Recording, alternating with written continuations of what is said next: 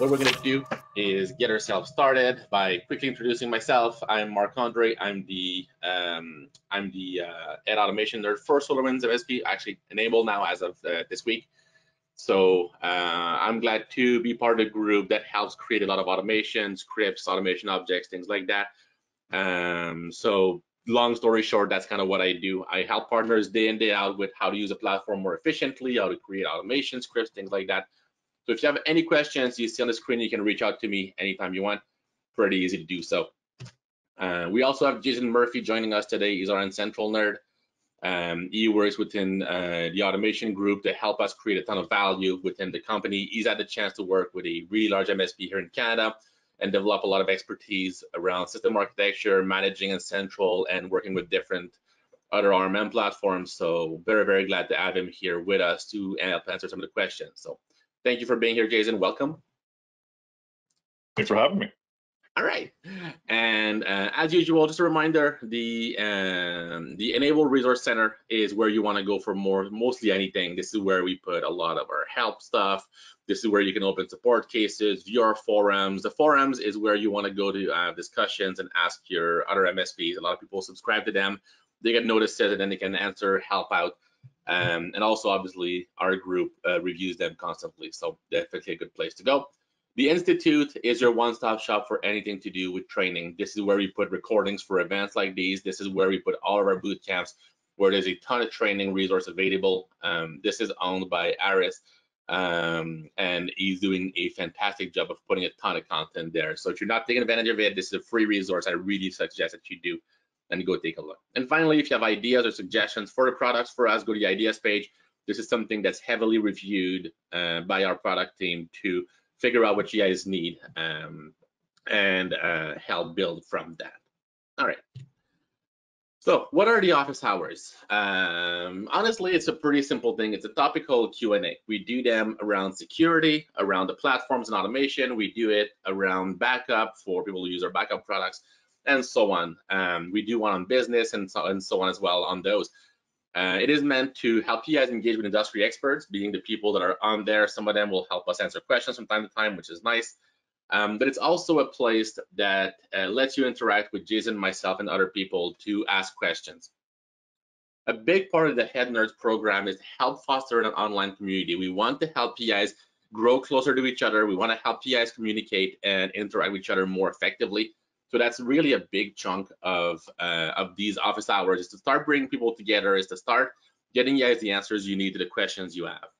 Um, we also want to help you guys grow your business. Um, this is another big part of the Head Nerd program is that we're there to help you guys grow. We're there to, we're there to be your advocates. We're there to be your trainers. We're there to be your experts. Um, because the more you grow, the more we grow. It's very organic. This is not a sales pitch. This is literally how this works, right? Like you guys grow and have a few more customers, you're more efficient, you're doing better, you're going to use our product more, you're going to deploy more agents, and then we make more money, you guys make more money, and everybody's happy. It's a very symbiotic relationship. This is not so much a sales relationship, so that's why we're there to help you guys. We also want to get feedback from you guys on product and different suggestions. We feed all that back to the product team. We discuss it with them. And sometimes if it's something that I can control, I can actually build it myself. I've done that for several of the automation objects and automation manager as well. So having said all that, um, there's a ton of resources. I already talked about those. Actually, yeah, mostly most of those I've already talked about. So I'm gonna skip over most of it. The um, next thing though is what's new in the cookbook. I try to put that slide now every month.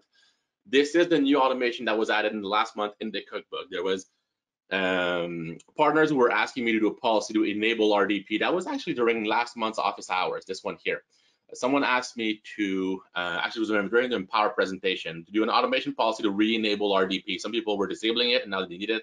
So we made a quick little policy for that.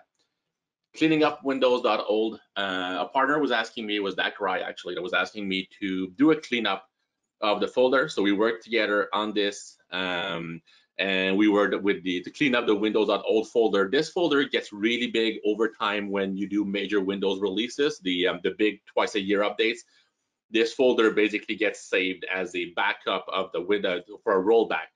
99% of the time, you're never going to need that. It takes a tremendous amount of space if you have a smaller drive. So we wanted a way to clean that up, so we gave him that. Um, we also made a few policies around patching, forcing reboot after 14 days. If it's been longer than X, request a reboot. Um, this one is for RMM. This is the RN Central version. So it basically looks at the login check to uh, see, uh, you know, okay, you're outside of business hours. Uh, is the user logged in? One is the user logged in outside of, of the hours that he wants based on the events, and then it notifies you of that through monitoring. So that's a new one. Um, this one was added uh, to uh, to add to sorry to disable and using interest. We thought it was in 21 uh, H1. It was actually in 20 H1. It was last year um, that was added. That was added this feature, but the partner shared a script to disable that. So if you're interested, you can grab it. We also added a few to monitor battery capacity. This was something that uh, a redditor posted. It went into the uh, the Slack channels, and we said it was a good one for everybody, so we posted it. Uh, and then a couple new ones that were recently added. Uh, those are this, those are July, but I wanted to mention them anyways. The first one is to mitigate the print nightmare uh, vulnerability that was discovered and uh, came out. This is one where a third party can uh, execute uh, code, so you can go and, and grab those. And finally, the Kaseya endpoint detection tool. I'm not going to go too deep down the Kaseya rabbit hole, but we uh, we saw that Kaseya published an, an automation script, a PowerShell script to monitor their agents for any signs of issues. So if you have customers that also have Kaseya deployed, or maybe you don't even know they're there, you can run this. If you're not using Kaseya and they're not using it anywhere, this will just go in with a pass status and everybody's happy. If anybody is using Kaseya and are vulnerable, this would warn you and you would be able to take action on it and discuss it with them. So this is made to this is meant to be made into a monitoring service. So those are all brand new from the last month or so, and they're available in the cookbook if you want to go grab them. So that's cool. Having said that, that's enough. Let's go into the Q&A. Um, about 10 minutes in, that's what I like to be in at that point anyway, so that's good. Um, I'm not seeing many questions, guys, so make sure you put your questions in the questions pane. Let me know what you would like to see, and I'll um, I'll be able to, uh, to, answer them as they come in. The first one I have is uh, around Central. Um, it's the printer vulnerability uh, for Print Nightmare. Uh, how are we mitigating that, and what does that policy do? So let me just, you know, let's quickly uh, take a look at it. So if I go into the cookbook, let me go here, go the cookbook, let's take a quick look at it. This is the, oh, actually, it doesn't matter. Oh, that one is a removal. So you can undo the fix. The fix is actually disable remote printing, if I'm not mistaken. That was built by um, by Lewis, our um, our security nerd. So I'm gonna quickly just download this and open up automation. And I'll show you guys what it does. It's pretty straightforward stuff. It's not that complicated.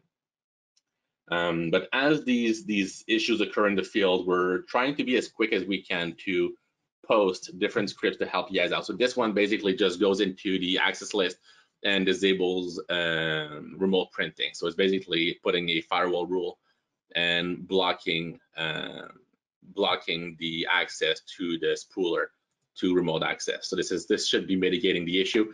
If you are having customers complaining of issues with remote printing, obviously you could use the, uh, the disable one. So this one is removal. This is to undo it. A lot of times when we deploy scripts to do things like that, to turn on a specific fix or an issue, on an issue, we'll usually do the uh, the reverse as well. So this one just undo, undoes what it, the other one went and did to make sure that it's clean and nicer. So that's nice. So those are available in the cookbook. So a good good question that we could answer that. Next one we have is are there any plans to introduce API endpoints that will allow us to get and trigger automation policies on endpoints? Uh, long and short is yes and no. Uh, long is yes, uh, because we are working on new APIs based on REST that will include triggering activities in N-Central, like AV scans, automation policies, um, and different things like that. Um, so, but short term, realistically, no, this is going to be more of a, uh, I believe, maybe Q4, maybe next year type of deal. Um, so I don't expect that to be done very short term, Alfie. Uh, sadly, this is not something that I'm expecting. I have been very diligently pushing for it. I have been very heavily uh, requesting it and discussing it and back and back and forth with everybody. But as of today, this is not something that I have uh, available in the short term. Uh, having said that, you can kind of cheat if you wanted to go that route. If you have a third-party tool um, and it needs to trigger an automation based on a specific rule. What you could simply do is leverage custom properties. Um, so if you make a custom device property, like this one, let's say, whatever, You can have specific data points uh, set in it, like a yes or no, like you can make drop down ones, right? So you could do a drop down field and say like blue, orange, purple, yes, no, whatever. And this would trigger an automation. So you could say whenever that is set to yes, put a an automation policy through a, a, a, a task profile. So what I would do by what I mean by that is it would come in and make a filter to target this custom property based on the values. I would come in and say add a filter, and then I would say uh, device, custom device property. I'll say color is equal to let's say blue, and then test, and then you would make that filter. You would save this. Now, as it would find people that are set to blue or purple or whatever color, you would then uh, be able to put a rule in place that would trigger automation, um, and then you would be able to simply run it as needed. So if you say, okay, these customers uh, are requesting through my web portal these automation policies to run recurringly, like a maintenance or things like that, you could simply target it that way. And there are uh, there are API endpoints uh, that are usable um, to play with custom properties. Um, hold on, let's use this one. So the actually device property will be the easiest one, and you you can actually set the device property um, to whatever you want. So you can say the device property would be your um, your color. I'll say set it to blue, set it to whatever, and by setting it, you would be able to trigger automation. So at this point, it's the only automation I can offer you for this. It works really well. I've done it in the past, but it is obviously tedious because you would have to integrate with that endpoint instead of integrating with something that would say run automation policy ABC. Um, but like I said, I am I am lobbying very very heavily to have that feature added just natively. But at the moment, it's pretty much the only way. So that's good to know. Good question. I like it. Next one is going to be. I've made a service that checks backup uh, status or statuses. Yeah. Um, I would like to have my AMP make a monitor per backup job like we do for Veeam or other ones. Uh, can this be done? At the moment, no. I have been asking the dev team to give us the ability to auto discover based on automation. So basically say for this policy, automatically add five instances based on XYZ. Uh, I'm asking for this for all kinds of things, being I'm building, you know, we have the new monitoring that we did for Meraki. If we could auto discover or deploy, that'd be fantastic. I wanted to have the same thing for a backup job. I want to have the same thing for cloud management and so on and so on. Um, so the more um, the more that uh, this gets requested, the more this is likely to come to fruition. So Patrick, maybe send me a quick email. Uh, yeah, you said all of those. Yeah, I know. I want all of those things as well. So send me an email. I'll gladly put put that towards the the request, um, and I will make it easier. Um, but yeah, that's a very very good question. I'm glad you'd asked that. Um, that's good. Um, but as of today, sadly, I don't have an answer. There's no way to do it. What I do when I build custom monitoring like this, I typically do a summary service to say, are there any backup with issues? And then if you know you want to ignore job A, B, and C, you can make an input parameter and say jobs to ignore, and then you would just put those as, those as ignored, for example. And I know it's not ideal. I know it sucks, but it's the only way at the moment to do it. The way that Veeam does it, or the other ones that are natively built, is because there's code in the background that runs something that will go and grab these job IDs and then it creates instances. That's part of our discovery process, but that's hard coded for those scripts and those jobs. That's what I'm asking them to do and we're flexible. So we'd have to say, okay, for this service, run this amp and then whatever it outputs, then use that as input for the new one. It's kludgy, but it's, it's kind of the way it has to be. But that is not something that's available today, Patrick. Uh, but that's a very, very, uh, very good point, and we keep getting asked for that. So, yeah. Um, all right, and same same person, Patrick says he's built a better mitigation now for Print Nightmare, does more things. Can you submit it? Absolutely, you can. I'm so glad you asked. Um, honestly, guys, a lot of partners don't really know this. We get requests all the time. If you want to upload a script, you just need to log in first. I'm not logged in because reasons. Uh, so I'm going to log in here and come on, buddy. Okay, I'm not going to log in because I'm not going to do this right now. Uh, I don't. So when you're in the cookbook, if you're logged in, all right, this is starting to annoy me. Incognito mode. So see, it's used for more than one thing. I'm gonna go here and I'm gonna, I would just say click this button here. It said log in to upload. Once you're logged in and your password is changed, you click this button and then you can upload the script. The reason I say use this is because this gets tracked into the background And this is part of our MVP program uh, where this counts towards that um, as part of your the, the scoring. So if you would like to upload scripts, submit things for the community to, you know, get your name out there, to just be a nice person, a nice neighbor, click the button, upload whatever you got. If you don't think it's good enough, still submit it. We add stuff all the time. And honestly, the more partners share, the better the community grows and the better, the more we'll see in the cookbook. Like we're trying to grow it by 10 to 20 a month. Typically about 80% is built by me and then 20% is built or me and Jason and the rest of it is built by partners or other colleagues. But the more you guys want to submit, absolutely. So Patrick, if you build something that you think is better, please put it there. Jason and I will review it. We'll reach out to you and we'll uh, we'll get that uploaded as an alternative and absolutely would love to promote that. So yeah, definitely good question. Definitely good one. And next question from Alfie.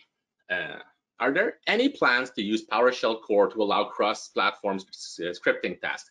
Yes, there is. And yeah, it's gonna take some time. We've started the work as of the last month or so to look into this. Actually, I think Chris might have mentioned this in his um, in his roadmap presentation. This was just started.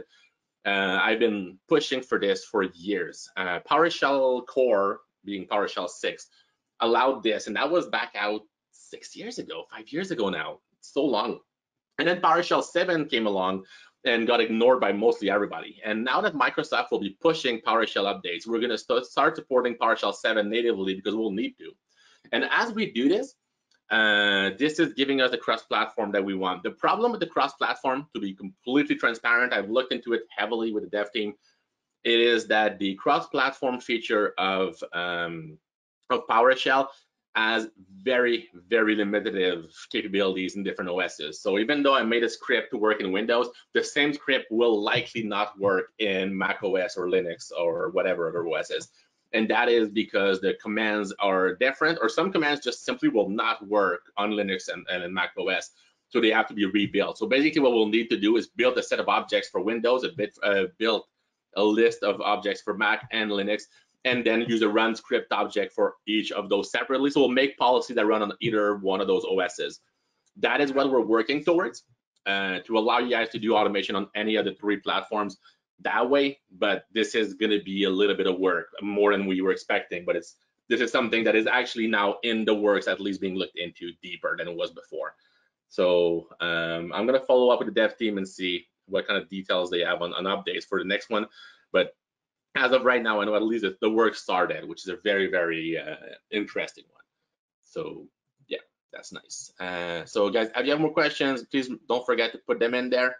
Just let me know uh, what I can answer. And the next question I have is talking about the Kaseya attack and scripting and what this script does. Okay, fair enough. Um, I didn't want to go too deep into this um, for a variety of reasons. Uh, one is that I don't want to get too much in trouble, but either way, I'll go into the high level of this. Um, this script was built by Kaseya. If you go look at the Kaseya article here, this is not a us script. We took the script from somewhere on that page. If you Google it, if you look at this there, there's a link to a PowerShell script in the Dropbox page. We took that and then we uh, we made it into an automation policy. The reason that we went that route um, is that uh, we wanted to give the monitoring capabilities of the script. The script basically what it does is that it will go through um, the customer's uh, device and we'll check. First of all, is Kaseya installed? If Kaseya is not installed, it will return a pass status because the vulnerability is around Kaseya. It's not around anything else right now, which knock on wood. Um, but that's what it is. So having said that, what we do is uh, we leverage that script that Kaseya built. It's not a meeting again, like I said. I just modified it. But what it does is it will go and grab the software key, will look for Kaseya and look at the agent path. Then it's going to look for suspicious files based on a specific type of encoding. Then it'll say, I found a suspicious certificate in the install, which is uh, reminiscent of what the vulnerability gets hacked with. Then it also looks for suspicious execu executables and look again for a specific hash. Then um, then it goes through and looks for, there it is, looks for signs of encryption. So basically looks for a README file or something like that in the agent path that says your files are encrypted, call us, blah, blah, blah, right? So it looks for all of these signs and then it outputs that back. So for N-central, you can very easily make this into a custom service. and then you can add that to all your devices. And then if anybody has Kaseya detected and they're okay, it'll just be a pass. Everybody's happy. If you have Kaseya and uh, any of those check fails, it would trigger a failed state, and then you would know what's happening. So this is something that you're you're able to leverage through um, through the tool. So if you are interested in using that, that is definitely something that uh, I would recommend to deploy everywhere and and use. Obviously, like I always always say, test it first, make sure it makes sense, and make sure it works for you. And then once you're comfortable with it, go ahead and deploy it. We did test it internally. Everything seemed very clean. The script, like I said, came from Kaseya. I just added some some hardening around it. And there's also an update that was done this morning. So if you use the one from yesterday, make sure you come and grab the new one because the um, the new one is a little deeper and looks at actual um, actual crypt uh, encryption evidence, which the other one didn't. So that is something that you'll want to make sure that you leverage. Um, but yeah, that's pretty easy. So good, good one there. Um, do, do, do, do, what else we got? Next question. Last time I tested, automation policy execution does not survive a reboot. Honestly, I wasn't aware of an issue with that. Um, let me take a look and see what, we, what we're talking about here. So Alfie, what I'm thinking you're talking about is the new object to execution policy. Oops. Uh, execution, there it is. Set execution policy. I'm thinking that's what you mean. Um, current machine or local. Oh, sorry, you said. Huh? Okay, so I'm, I'm confused. You're saying it's not that.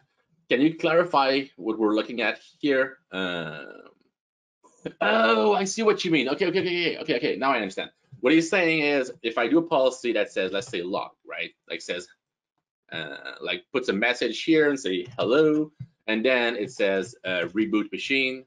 Uh, no, not reboot prompt, just reboot. Uh, restart.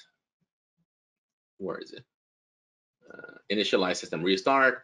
And then I would put another log again and say, okay, after reboot, whatever, right? Like this. After reboot, this is not going to work. No, and that is by design. The policy stops when you reboot. It doesn't have a way to interrupt itself. So if you need to do something like this, you need to do a reboot and then you need to check after a reboot, you would need to do two different policies that run at different times. We, see this quite a bit with uh, specific updates or application issues or domain changes, things like that, which you would typically do is do it through monitoring, where it would say, okay, monitor if, you know, this condition is met, and then when it is, trigger a failed or a warning state, and then trigger an automation to do whatever you need it to do. And then you would go through that. But no, the fact that it does that, that's actually intended. This is not something that is to be fixed. Um, this is a limitation of the way that the engine works, and changing that will require a very significant uh, amount of work. Um, just because of the way that policies run, they have a limited lifespan, and basically the whole policy runs within a silo. If you reboot, you lose your variables, you lose a lot of things, and it just wouldn't work very well. Um, the same reason that most programs, when you reboot, will have to reopen well, like Office will resume its state because it saves where it's at. But that's what I mean. That's what we don't have to implement, which we haven't done at the moment. And that is not something that's been on the uh, the, the, priority list to do. Uh, I'm not saying I wouldn't like that. I would love to do it, but at the moment, sadly, it's not something there. Um, okay, thank you.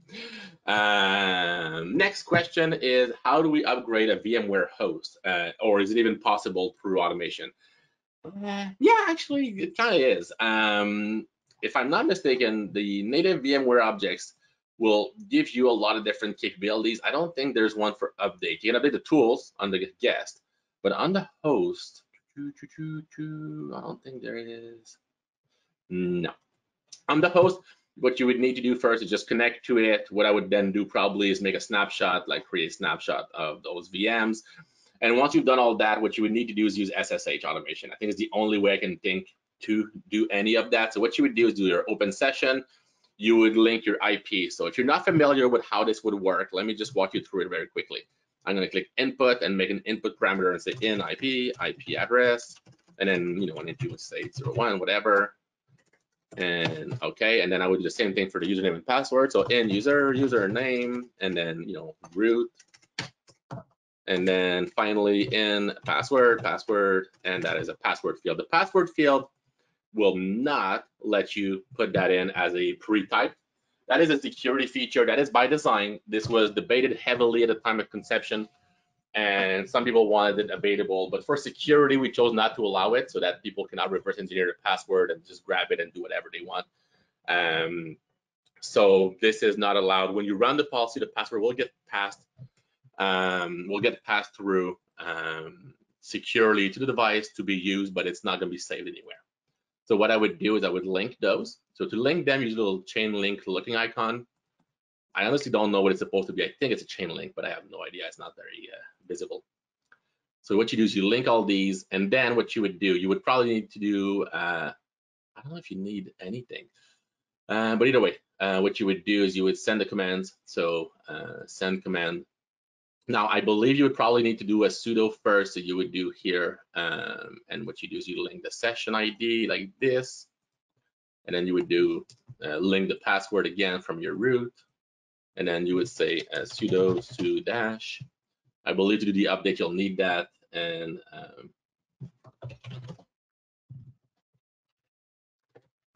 and then from there, um, what you would do is you would link again to the session ID, just like that. Um, there you go. And then the command that you would run, uh, let's say I want to patch, um, I want to do a specific uh, vib patch or something like that. Um, honestly, there's different commands that they will allow you to do to go into, you have to go into update mode, you have uh, maintenance mode, sorry, which I believe I did put that, did I put that? Um, I don't know if I made an object for this. I know I was looking into it. I don't know if I had, if I was able to do it. On. Maintenance. Yeah, enable ESX maintenance mode. So what you would do is you could use the ESX object to just enable maintenance mode and then put the ESX connect object first. Then you would run the command. The command, um, there's a few different ones. Uh, you would need to get whatever patch you're looking for, uh, but it would be, you know, something like that. So ESX CLI software, and then vib, and then whatever install, and then whatever file you want to get from there, right? And then you could do the update. You could also do the command to download the update from the web, and then so on and so on. Um, but that would be a way to connect uh, to to your um, your end device from here. Um, I'm not going to give you guys a full example of this because I don't have an example to test it again um, against. And also, I'm not even sure if I would usually recommend that. ESX is so intricate and complex at times that it might be better to do it by hand or to do it through the GUI. Uh, I don't know personally if I would do it through the, through the shell in, to begin with, but if you wanted to, that would be a um, um, that would be something that you could do. All right next question I have is from Eli. He's saying, uh, hey, is there a way to deploy BIOS updates to workstations and laptops safely? Um,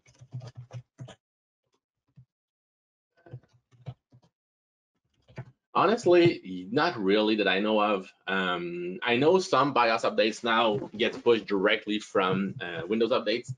Um, I know some tools uh, like Dell, they have their own universal BIOS update uh, for a lot of things. They have their, 64-bit automated, automated um, but it's from command line. So my answer would probably be no. Um, I know I've seen people do it, um, but I've not seen people do it successfully. I think is the honest truth. Um, even for known BIOSes, um, for a variety of reasons, honestly. Um, so if you have a customer that has, you know, a thousand machine and they're all the same model, the same brand, the same, even because even within the same brand, sometimes a lot of different BIOSes based on revisions. So if you push the wrong BIOS by mistake, it's either going to refuse or it's going to be dumb enough to accept it. Um, so that's tricky. Now, if you, like I said, if you're a specific vendor, there are tools like HP, like Chris is saying, thank you, Chris, is saying that uh, you know the HP Image Assistant will do BIOS updates. So you could use use that from PowerShell. So he says he's using that with N-central and, and uh, PowerShell, and that works for him. So yeah, there are ways for specific vendors to do it. Um, I know MSI does here does theirs a lot uh, through Windows updates and their own uh, live update. I've personally recently bought a, a new Asus laptop, and I know Asus. It seems like it did it from Windows Update, which is also really nice. Makes it a lot easier. Um, but there's no universal way to do it. I would have loved to build that automation years ago, just give it to everybody. But it seems like every vendor just chooses what they want. They also give you the capability to choose which update you want, which different BIOSes, and so on and so on. So we just kind of stayed stayed clear of this for those reasons. Um, not saying it's not a valid thing. It's just I, we haven't touched that. Um, so yeah. Um, next question. Um, is there any option in Automation Manager to modify local GPOs and agents that are not in the domain? Honestly, 98% of GPOs are basically registry changes. So if you Google, um, you know, local security policy registry uh, location, like 90 some percent uh, of uh, what you find in um, of what you find in the local security policy. There's the, those are available in the registry. Like for example, these uh, access the path restricted things like that. You can make all of those in the registry. So what I've been telling people is look for the ones you would like to change, and then if we clean that up a tiny bit, let me just clean that. Then use the registry like this and then say, okay, first of all, uh, does the registry key exist or not? But the easiest is just to create it. So what I would usually do is say, does that value exist? So um, we're going to local machine, the current current policy, then it'd be under uh, software, uh, current set, whatever. Again, it's not the right thing, but who cares? Just, you know, something, something, whatever. And then the property would be test. Now it says if it does not exist, so if and what I typically do here uh, say, okay, well, if it does not exist, I say, um, so if it does exist, you say set it. If it does not exist, you create it. And it does both at the same time. That's just the easiest. Um, but yeah, you can just do whichever. And then it says say, okay, what's the value? What is the key? Then you see this allowed, allowed, whatever. So uh, Alistair, you can actually do that pretty easily. What I would recommend, uh, Alistair, when you start doing that, reach out to me. Let's do a couple together. I'll walk you through the process on a call. It should be very quick. And then what we can do is we can share it back with the community if you're willing to do that with me. Let's just make sure we can share it back with everybody. We'll put in the cookbook and we'll put a couple examples and make it easier for everybody. Um, so what I'll do is I'll put my email for everybody here. Um, what's my new email? Keep we changed yesterday. Uh, let's try that. I think that's my email. Uh, yeah, I think so. Uh, so yeah, send me an email. Let's take a look and let's go from there. Uh, I'm still backlogged from last week being on vacation, but I'll do my absolute best to take a look at that very quickly with you. Um, doo -doo -doo All right, next question from Alfie. Is there any way to take a uh, VMware snapshot on a VM and then update Windows on those VMs within the same policy? Within the same policy, no. But um, what you could do is uh, if you know that all those VMs are connected to this host, as part of the policy, what you can do, uh, you can do one of two things. You could do a sub policy and add policy A run policy B. So on that Windows VM, you would run to connect to VMware and do everything. It the only assumption is that you have Power CLI installed. Uh, and it seems like my yeah, I think both emails will work, but I'll give you both just in case. Yeah, I think they've given us multiple aliases, Lewis. Um, so yeah, so okay, sorry. So what you would do is one policy to create all the snapshots that you need, and the other one to do the uh, the what you need. So what I've seen people do more successfully, just to be completely honest, is I've actually seen people come in, run a policy to um, do snapshots on everything. So what they would do is say connect to ESX, right? Put in the IP and everything, easy then what you would do is um, you would want to basically just check first of all are there snapshots? But if you don't care I can just say run this and I can say do a snapshot on everything. I don't know if it's a good idea but you can. Uh, personally I like to name the snapshot. So what I'm going to do is say get date. Hey I said get date. And the other one is going to be format string the reason I use those, you'll see why in a second. I'll go year, month, day, hour, minute, seconds. Hold on. Is that right? That's right. Uh, I think it is. Uh, so what I'm going to then do is link the get date to this. And then I'm going to say um, snapshot pre-maintenance dash this. So basically what it's gonna do is gonna make a snapshot with this name that I can then link right here, like that. And then I would link my session ID to my session ID. The VM, I would put star because I know if I look in the object here, when I made this object, I made sure to support wildcard. So if I see everything, it will just go for everything. See here, the example shows that.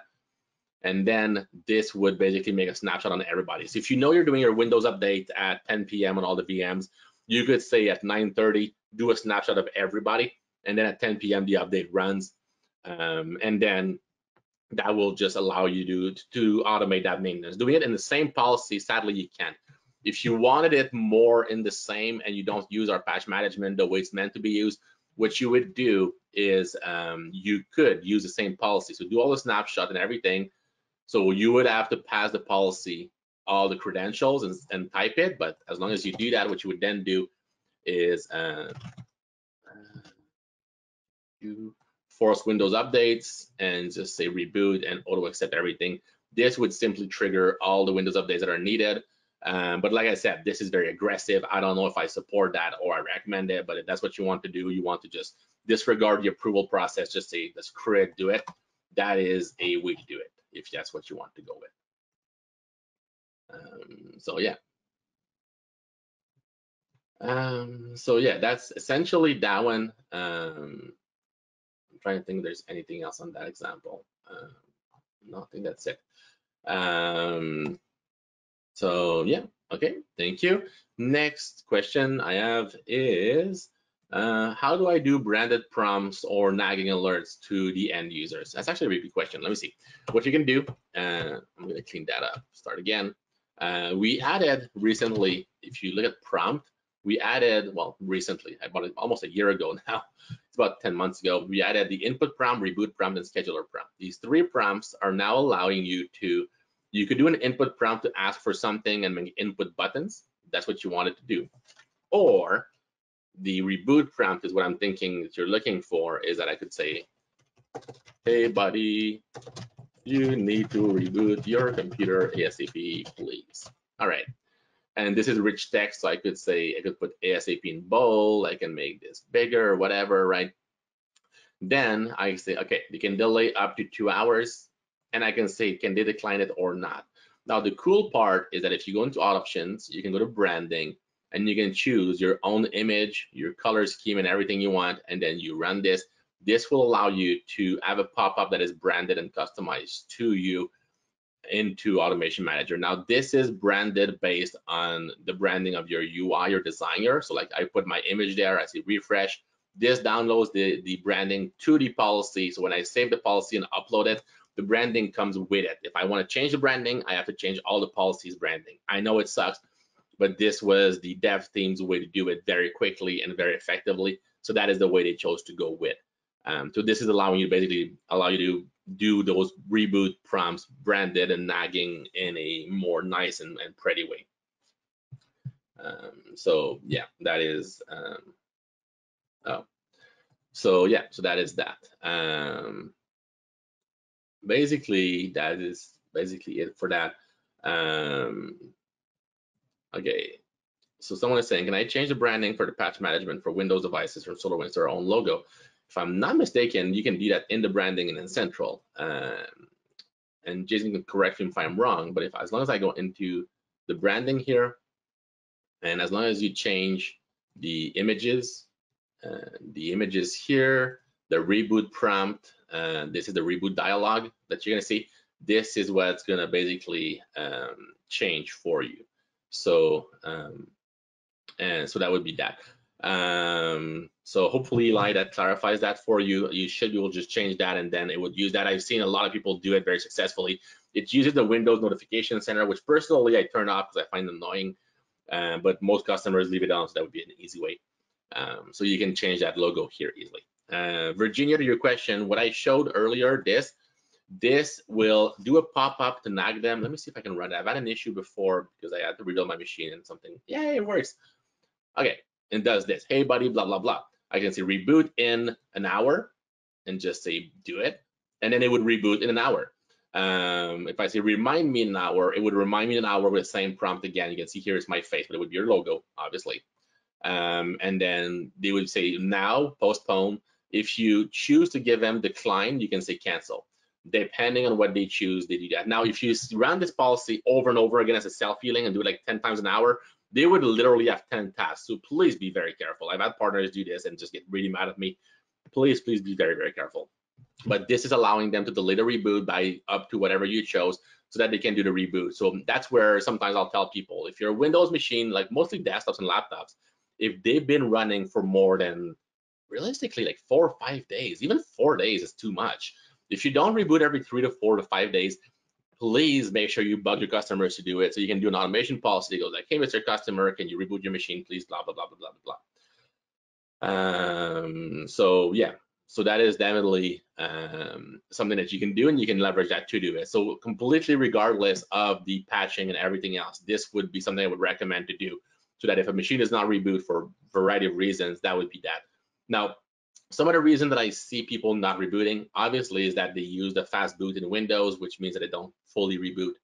Um, so uh, that would be something that you could that, that would be a problem. You can also have a problem where um, uh, the device does not get rebooted. Like if you're anything like me, I put my machine to sleep every night, and once in a while I, I'm starting to have too many things, and I'll reboot every two to three days typically um, because I have five monitors. You have like 80 things open at once, so I don't like to reboot too often. But if you don't reboot for too long, I start seeing little gremlins and weird stuff. So these prompts become very useful, right? Because you can say, I think, is there an object? Yeah, computer uptime, which will give you a number of time in you know days, hours, and so on. You can see if the uptime is more than 14 hours or 14 days or 10 days or five days, then do that prompt, and you can make that very easily. Um, based on that behavior. There's examples of that in the cookbook, um, so you're welcome to go grab them there. Um, and uh, Alfie, another question asking, can we update a custom device property from a task? Sadly, no. Uh, there is through the APIs you be able to do it. So in theory, you could, um, but I have been asking for a new uh, a new silent way to do the API connection for me for automation so that I can do interaction with the current API. So that would be things like custom properties, things like um, triggering, you know, creating customers, the configuration, things like that. Um, so I am looking forward to those, but at the moment I don't have that. Um, so yeah, and if you need five monitors like I do, an easy way to convince your boss is to show it to them. Uh, I took a few monitors from home and showed my boss how more efficient it was and had more stuff I could fit in. And then they said like, okay, fine, here's monitors. So that was my way to convince people. I've been using four or five monitors for better part of eight years now, and I would never go back to one or two. Um, so that is that is personally my thing. I'd rather have five 1080p monitor than you know one 4K to be honest. So yeah, a little slight try, but I like it. I like the question. And I'm kind of running out of question. I only have one more. Um, so um, if you have Windows Update Agent or Windows Update issues, do you have scripts to fix that? And to be honest, I don't have a proper script myself, but we have partners who have helped create stuff for this. And oh yeah, I forgot, I got kicked out of this. Um, hold on, I have to get back to it. There you go. So when I'm here, um, let's take a look. I'm pretty sure there's something for this. Windows Update. Um, where did they go? Thought we did. I'm trying to find it. I can't find the script I'm thinking of. There is a script that was made to fix Windows Update Agent. Um, shoot. You may want to search for patch. That's how I. Okay, let's let's for patch. Uh, yeah, the patch reboot using the registry, pre-patch prompt. I was talking about that.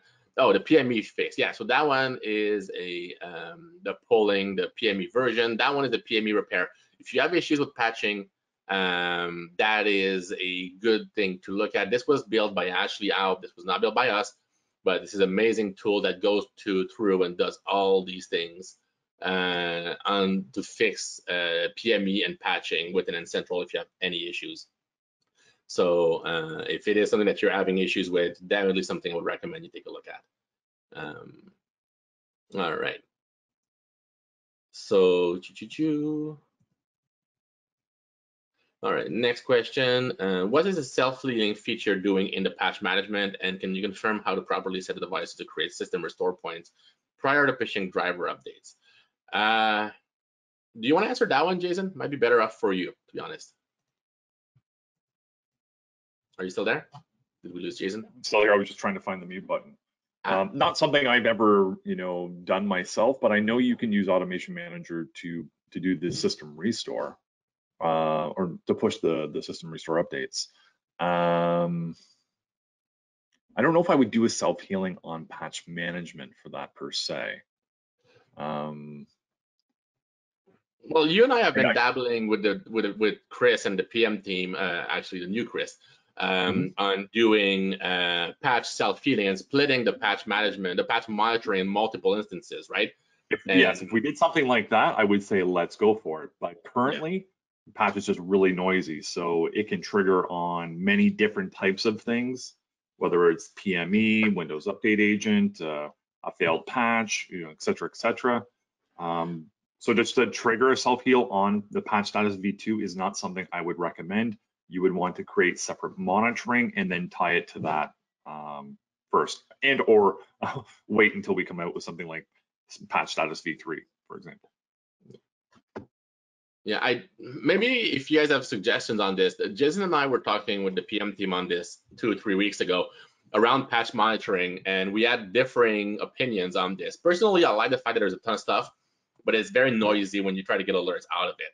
My suggestion personally was to have multiple instances of it. So you can do patch status v2, and then you can have an instance name like we do for a lot of other services. Then I could say, okay, this one monitors the PME summary or the PME health this one monitors missing patches by age. This one monitors and so on. So I have three or four patch status per device. Then you could have different alerting, different self healing, because you could then do a self heal only if PME goes nuts, then do the self heal with a repair script. Right. Is that something that you guys would be looking for, or would you prefer to have multiple different services that are limited to what they are?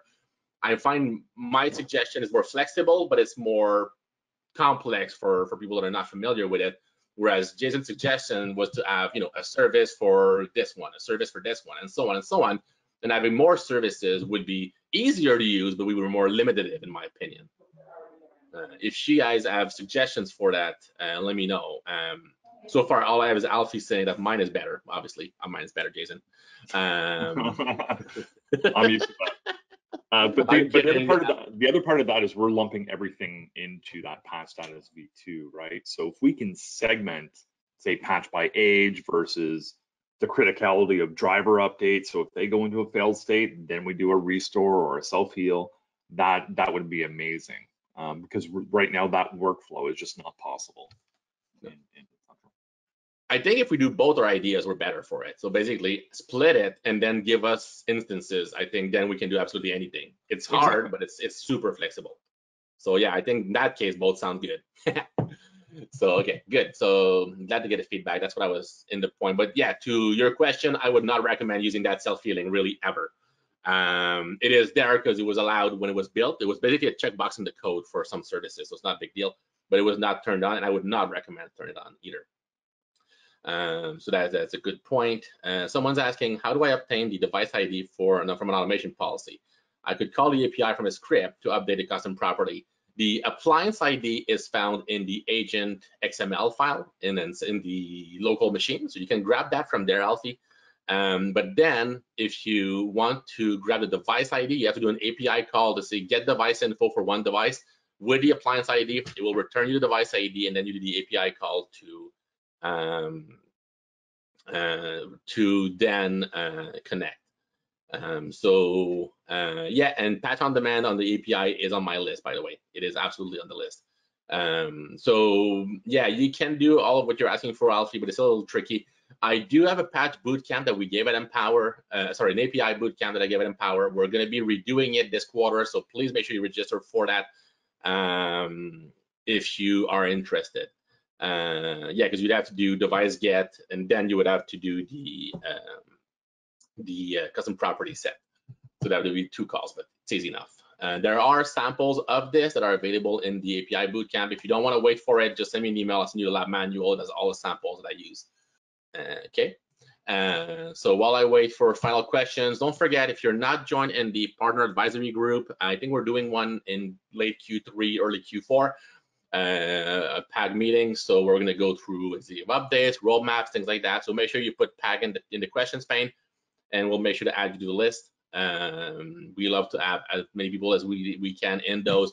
Get your feedback. Let us know what you guys think um, and go from there. So if you're not in the PAG already, I'll make sure to take your email down. Thank you, Alfie. I saw that. Uh, and with that, guys, uh, I think that'll be it. Have a wonderful rest of your day. Look at that fancy animation there. Um, have a wonderful rest of your day. We'll see you in the next one. And uh, yeah, if you have anything else, reach out to Jason and I anytime. Thanks, everyone.